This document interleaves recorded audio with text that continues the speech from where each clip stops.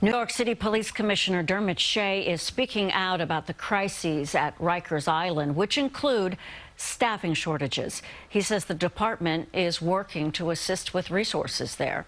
We got a request to alleviate some of the, the pressure, if you will, on the, the Rikers staffing.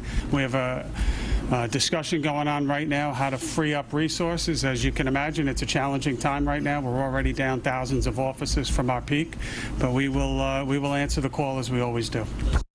Earlier this week, Mayor de Blasio unveiled reforms for Rikers, which include reopening once shuttered areas to ease overcrowding and fixing infrastructure problems at the jail, like broken cell doors.